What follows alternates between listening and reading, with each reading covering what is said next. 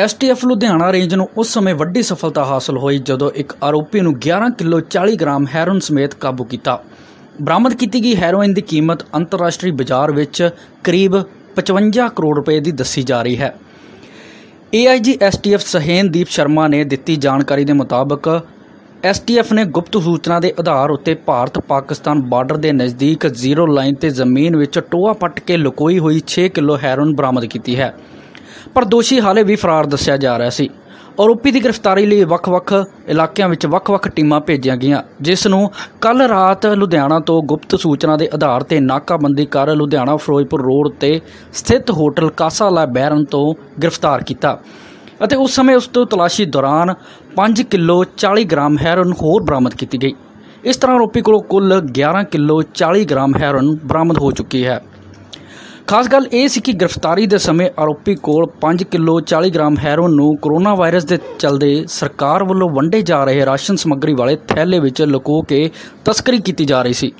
ਸਹਿਨਦੀਪ ਸ਼ਰਮਾ ਨੇ ਦੱਸਿਆ ਕਿ ਆਰੋਪੀ WhatsApp ਦੇ ਰਾਹੀਂ ਪਾਕਿਸਤਾਨ ਵਿੱਚ ਕਿਸੇ ਵੱਡੇ ਨਸ਼ਾ ਸਮਗਲਰ ਨਾਲ ਗੱਲ ਕਰਦਾ ਸੀ ਅਤੇ ਨਸ਼ਾ ਮੰਗਵਾ ਪੰਜਾਬ ਵਿੱਚ ਸਪਲਾਈ ਕਰਦਾ ਸੀ। ਉਸ ਤੋਂ ਬਾਅਦ ਉਹਨਾਂ ਦੱਸਿਆ ਕਿ ਇਸ ਮਾਮਲੇ ਵਿੱਚ ਅੱਗੇ ਪੁੱਛਗਿੱਛ ਜਾਰੀ ਹੈ ਅਤੇ ਕਈ ਅਹਿਮ ਖੁਲਾਸੇ ਹੋਣ ਦੀ ਉਮੀਦ ਹੈ। ਉਹਨਾਂ ਦੱਸਿਆ ਕਿ ਮੁਲਜ਼ਮ ਦੀ ਪਹਿਚਾਣ ਪ੍ਰਤਾਪ ਸਿੰਘ ਨਿਵਾਸੀ ਜ਼ਿਲ੍ਹਾ ਅੰਮ੍ਰਿਤਸਰ ਦੇ ਰੂਪ ਵਿੱਚ ਹੋਈ ਹੈ। ਤੇ ਇੱਕ ਹੋਰ ਵੱਡੀ ਜਿਹੜੀ ਰਿਕਵਰੀ ਅੱਜ ਐਸਟੀਐਫ ਨੂੰ ਮਿਲੀ ਹੈ ਜਾਂ ਵੱਡੀ ਕਾਮਯਾਬੀ ਐਸਟੀਐਫ ਨੂੰ ਮਿਲੀ ਹੈ, ਇੱਕ 11 ਕਿਲੋ ਹੈਰੋਇਨ ਜਿਹੜੀ ਹੈਗੀ ਆ, ਉਹ ਪਕੜੀ ਗਈ ਆ ਇੱਕ ਨਸ਼ਾ ਤਸਕਰ ਦੇ ਕੋਲੋਂ।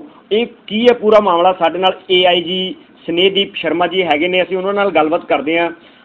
ਸਰ ਤੁਹਾਡਾ ਸਵਾਗਤ ਹੈ ਸਾਡੇ ਚੈਨਲ ਵਾਸਤੇ। ਥੈਂਕ ਯੂ ਜੀ ਸਰ ਜਿਹੜੀ ਅੱਜ ਰਿਕਵਰੀ ਕੀਤੀ ਹੈ ਐਡੇ ਵੱਡਾ ਜਿਹੜਾ ਕਿ ਰੈਕਟ ਫੜਿਆ ਤੁਸੀਂ ਨਸ਼ੇ ਦਾ 11 ਕਿਲੋ ਦਾ ਉਹਦੇ ਬਾਰੇ ਦਿਓ ਜਾਣਕਾਰੀ ਵੀ ਕੀ ਸੀਗਾ ਪੂਰਾ ਮਾਮਲਾ ਇਹ?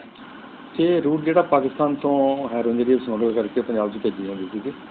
ਔਰ ਬੀਐਸਐਫ ਦੀ ਹੈਲਪ ਦੇ ਨਾਲ ਅਸੀਂ ਸ਼ਮਸ ਕੇ ਪੋਸਟ ਬੀਐਸਐਫ ਸੈਕਟਰ ਫਿਰੋਜ਼ਪੁਰ ਦੇ ਵਿੱਚੋਂ ਏਰੀਆ 'ਚ ਅਸੀਂ ਬਰਾਮਦ ਕੀਤੀ ਸੀਗੀ। ਐਂਡ ਉਸੇ ਦੀ ਤਫਤੀਸ਼ ਦੇ ਦੌਰਾਨ ਹੀ ਅਸੀਂ ਜਿਹੜੀ ਹੈ 5 ਕਿਲੋ ਹੈਰੋਇਨ ਹੋਰ ਬਰਾਮਦ ਕੀਤੀ ਹੈ।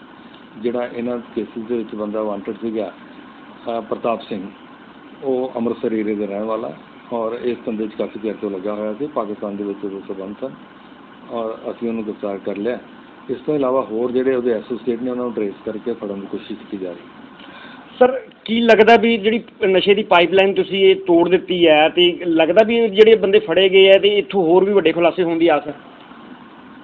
ਦੇਖੋ ਜੀ, ਇਹ ਤਫਤੀਸ਼ ਦਾ ਪਾਰਟ ਹੈ ਔਰ ਤਫਤੀਸ਼ ਦੇ ਦੌਰਾਨ ਜਿਹੜਾ ਵੀ ਸਾਹਮਣੇ ਵਿਅਕਤੀ ਆਏਗਾ, ਉਹਦਾ ਐਸੋਸੀਏਟ ਹੋਏਗਾ ਜਾਂ ਫਰਦਰ ਡਿਸਟ੍ਰੀਬਿਊਟਰ ਹੋਏਗਾ ਜਾਂ ਸਪਲਾਇਰ ਹੋਏਗਾ, ਅਸੀਂ ਉਹਨੂੰ ਫੜਨ ਦੀ ਕੋਸ਼ਿਸ਼ ਕਰਾਂਗੇ ਔਰ ਫੜਾਂਗੇ। ਜੀ ਬਿਲਕੁਲ। ਇਹ ਸਨ ਅ, ਸ਼ਰਮਾ ਜੀ ਤੇ ਇਹਨਾਂ ਨੇ ਜੋ ਤੁਹਾਨੂੰ ਦੱਸਿਆ ਵੀ ਜਿਹੜਾ ਨਸ਼ਾ ਦਾ ਨਸ਼ਿਆਂ ਦਾ ਜਿਹੜਾ ਲੱਕ ਤੋੜ ਕੇ ਰੱਖ ਦਿੱਤਾ ਹੈ ਐਸਟੀਐਫ ਪੁਲਿਸ ਨੇ ਔਰ ਬਹੁਤ ਵਧੀਆ ਤਰੀਕੇ ਨਾਲ ਇਹ ਕੰਮ ਕਰ ਰਹੀ ਹੈ ਔਰ ਸਾਨੂੰ ਹੋਰ ਵੀ ਜਿਹੜੀ ਉਮੀਦ ਹੈਗੀ ਹੈ ਵੀ ਇਹ ਅੱਗੇ ਤੋਂ ਵੀ ਇਸੇ ਤਰ੍ਹਾਂ ਦੇ ਜਿਹੜੇ ਹੈਗੀ ਹੈ ਇਹ ਨਸ਼ਾ ਤਸਕਰਾਂ ਨੂੰ ਨਸ਼ਾ ਸਮਗਲਰਾਂ ਨੂੰ ਜਿਨ੍ਹਾਂ ਦੇ ਪਾਕਿਸਤਾਨ ਦੇ ਵਿੱਚ ਵੀ ਹੈਗੇ ਨੇ ਲਿੰਕ ਹੈਗੇ ਉਹਨਾਂ ਨੂੰ ਵੀ ਫੜਨ ਦੇ ਵਿੱਚ ਕਾਮਯਾਬੀ ਹਾਸਲ ਕਰੇਗੀ। ਲੁਧਿਆਣਾ ਤੋਂ ਪ੍ਰਦੀਪ ਭੰਡਾਰੀ ਦੀ ਰਿਪੋਰਟ। ਖੜੀ ਹੈ। ਇਹਦੇ ਬਾਰੇ ਦਿਓ ਜਾਣਕਾਰੀ ਵੀ ਕੀ ਪੂਰਾ ਮਾਮਲਾ?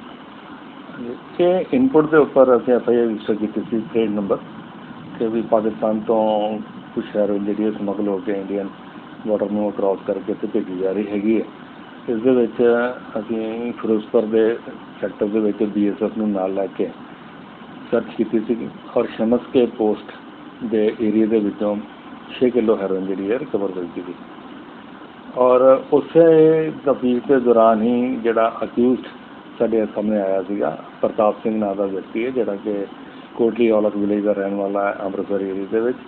ਉਸ ਵਿਅਕਤੀ ਨੂੰ ਗ੍ਰਿਫਤਾਰ ਕਰਨ ਦੀ ਕੋਸ਼ਿਸ਼ ਕੀਤੀ ਸੀਗੀ ਐਂਡ ਉਸ ਵਿਅਕਤੀ ਬਾਰੇ ਪਤਾ ਲੱਗਾ ਸੀ ਕਿ ਵੀ ਰੈਗੂਲਰਲੀ ਇਹਨਾਂ ਕੰਮਾਂ ਦੇ ਵਿੱਚ ਇਨਵੋਲਡ ਹੈ। ਉਸ ਨੂੰ ਫਿਰ ਲੁਧਿਆਣਾ ਏਰੀਆ ਦੇ ਵਿੱਚ ਉਹਨੂੰ ਅਰੈਸਟ ਕੀਤਾ ਗਿਆ।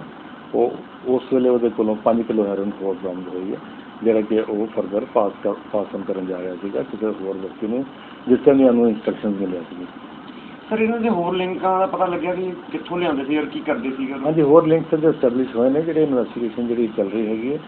ਅਮ ਜਿਹੜੀ ਇਹ ਕਨਸਾਈਨਮੈਂਟਸ ਹੈ ਪਾਕਿਸਤਾਨ ਤੋਂ ਹੀ originaate ਹੋਈਆਂ। ਸਰ ਇਹ ਜਿਹੜੇ ਅਹ, ਬੰਦੇ ਫੜੇ ਗਏ ਨੇ ਇਹਦੇ ਚ ਹੋਰ ਵੀ ਬੰਦੇ ਇਨਵੋਲਵ ਨੇ?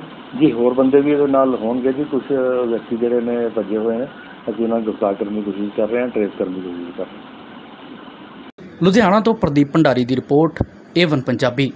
ਮੈਂ ਆਪਣੇ ਇਹ ਮੋਢਿਆਂ ਤੇ ਗੋਡਿਆਂ ਤੋਂ ਬਹੁਤ ਦੁਖੀ ਸੀ।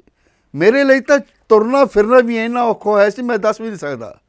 ਪਰ ਜਦ ਤੋਂ ਮੈਨੂੰ ਫੀ ਰਿਲੀਫ ਮਿਲਿਆ, ਢਾਈ ਤਿੰਨ ਮਹੀਨੇ ਇਸਤੇਮਾਲ ਕਰਨ ਤੋਂ ਬਾਅਦ ਗੋਡੇ ਵੀ ਓਕੇ ਮੋਢੇ ਵੀ ਓਕੇ ਜੇ ਤੁਸੀਂ ਵੀ ਕਿਸੇ ਇਸ ਤਰ੍ਹਾਂ ਦੀ ਬਿਮਾਰੀ ਤੋਂ ਪਰੇਸ਼ਾਨ ਹੋ, ਤੇ ਬੇਸਹਾ, ਬੇਝਿਜਕ ਹੋ ਕੇ ਇਸ ਨੂੰ ਇਸਤੇਮਾਲ ਕਰੋ।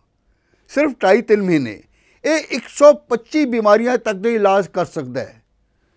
ਫੀ ਰਿਲੀਫ ਹਮੇਸ਼ਾ ਯਾਦ ਰੱਖੋ ਬਸ। ਕੁਝ ਦਿਨਾਂ ਤੋਂ ਮੈਨੂੰ ਬਾਲਾਂ ਦੀ ਬੜੀ ਸਮੱਸਿਆ ਸੀ। ਮੇਰੇ ਬਾਲ ਝੜਨੇ ਸ਼ੁਰੂ ਹੋ ਗਏ ਸੀ। ਮੈਨੂੰ ਮੇਰੇ ਦੋਸਤ ਨੇ ਆਇਲ ਫੀ ਰਿਲੀਫ ਵਾਲੇ ਦੱਸਿਆ। ਮੈਂ ਇਹ ਤੇਲ 3 ਕੁ ਮਹੀਨੇ ਲਾਣਾ ਆਪਣੇ ਸਿਰ ਤੇ ਅਪਲਾਈ ਕੀਤਾ। ਇਹ ਬਿਲਕੁਲ ਆਯੁਰਵੈਦਿਕ ਤੇਲ ਹੈ। ਇਹਦਾ ਕੋਈ ਸਾਈਡ ਇਫੈਕਟ ਨਹੀਂ ਹੈ। ਤੇ ਮੇਰੇ ਬਾਲ ਜਿਹੜੇ ਗੰਜਪਣ ਪੈਣਾ ਸ਼ੁਰੂ ਹੋ ਗਿਆ ਸੀ, ਉਹ ਦੁਬਾਰਾ ਆਉਣ ਲੱਗ ਗਏ। ਤੇ ਮੈਨੂੰ ਤਾਂ ਬੜਾ ਫਾਇਦਾ ਦਿੱਤਾ ਇਸ ਨੇ ਜੇ ਤੁਹਾਨੂੰ ਵੀ ਕਿਸੇ ਇਸ ਤਰ੍ਹਾਂ ਦੀ ਪ੍ਰੋਬਲਮ ਦਾ ਤੁਸੀਂ ਸਾਹਮਣਾ ਕਰ ਰਹੇ ਹੋ, ਤਾਂ ਇਹ ਤੇਲ ਲਾਣਾ ਨਾ ਭੁੱਲੋ। ਕਿਤਨਾ ਕਿਤੇ ਅਸੀਂ ਆਪਣੇ ਬਾਲਾਂ ਕਰਕੇ ਸ਼ਰਮ ਫੀਲ ਕਰਦੇ ਹਾਂ ਕਿਤੇ ਸੋਸਾਇਟੀ 'ਚ ਬੈਠੇ ਕਿ ਕੋਈ ਮਜ਼ਾਕ ਨਾ ਕਰ ਰਿਹਾ ਹੈ ਪਰ ਥੈਂਕਸ ਟੂ ਫ੍ਰੀ ਲੀਵ ਜਿਨੇ ਮੇਰਾ ਇਹ ਕੌਨਫੀਡੈਂਸ ਬਿਲਡ ਕੀਤਾ, ਜਿਹਦੇ ਲਗਾਨ ਨਾਲ ਮੈਂ ਮਾਰਕੀਟ 'ਚ ਹੁਣ ਬੜਾ ਹੀ ਕੌਨਫੀਡੈਂਟ ਹਾਂ ਔਰ ਇਹਦੇ ਨਾਲ ਮੈਨੂੰ ਬੜਾ ਫਾਇਦਾ ਹੋਇਆ ਤੇ ਮੈਨੂੰ ਸਰਵਾਈਕਲ ਦੀ ਵੀ ਦਿੱਕਤ ਸੀ ਤੇ ਉਹਦੇ ਨਾਲ ਵੀ ਮੈਨੂੰ ਬੜਾ ਰਿਲੀਫ ਮਿਲਿਆ। ਇਹ ਯੂਜ਼ ਕਰੋ ਤੇ ਮੈਂ ਪ੍ਰੈਕਟੀਕਲ ਯੂਜ਼ ਕਰ ਰਿਹਾ।